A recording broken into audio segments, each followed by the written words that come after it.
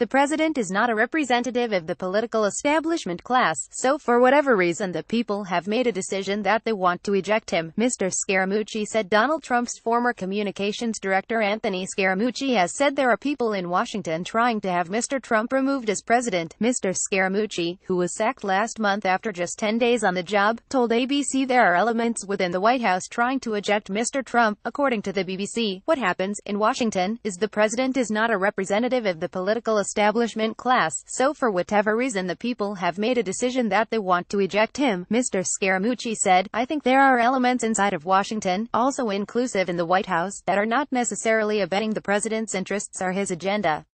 When asked to identify the individuals, he said he had already named some names and strategic changes were in place, the BBC reported. However, he added that Mr. Trump needed to bring in more loyalists to carry out his agenda. During his brief time working for the U.S. president, Mr. Scaramucci turned the White House upside down. His hiring led to the departures of both Sean Spicer and Reince Priebus, Mr. Trump's former press secretary and chief of staff, respectively. Mr. Scaramucci told a New Yorker reporter Mr. Priebus was a paranoid schizophrenic, a paranoiac and accused him of leaking information to journalists. The following day, Mr. Trump announced on Twitter that he was replacing Mr. Priebus with John Kelly, the Secretary of Homeland Security. After more than 200 days in office, Mr. Trump has still not secured a major legislative victory. More about Donald Trump Anthony Scaramucci reuse content We use cookies to enhance your visit to our site and to bring you advertisements that might interest you. Read our privacy and cookie policies to find out more. We've noticed that you are using an ad blocker. Advertising helps fund our journalism and keep it truly independent. It helps to build our international editorial team, from war correspondents to investigative reporters, commentators to critics. Click here to view instructions on how to disable your ad blocker, and help us to keep providing you with free-thinking journalism for free. Thank you for your support.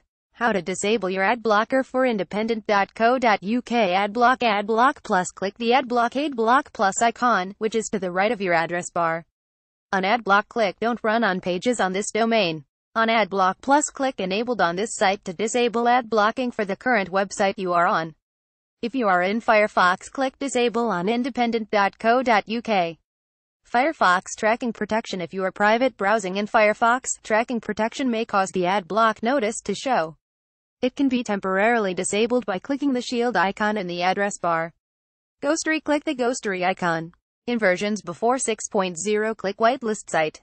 In version 6.0 click trust site or add independent.co.uk to your trusted site list. Inversions before 6.0 you will see the message site is whitelisted. Click reload the page to see your changes.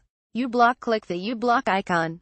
Then click the big power button to whitelist the current website, and its state will be remembered next time you visit the website then reload the page. Thank you for supporting independent.co.uk.